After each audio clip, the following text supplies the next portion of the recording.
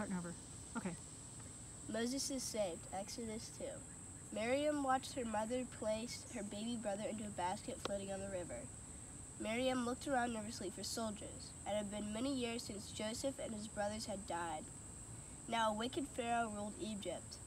He had forced Joseph, Joseph's descendants, called the Hebrews, into slavery and ordered every Hebrew baby boy to be killed. Miriam's mother cried as she pushed the basket into the reeds.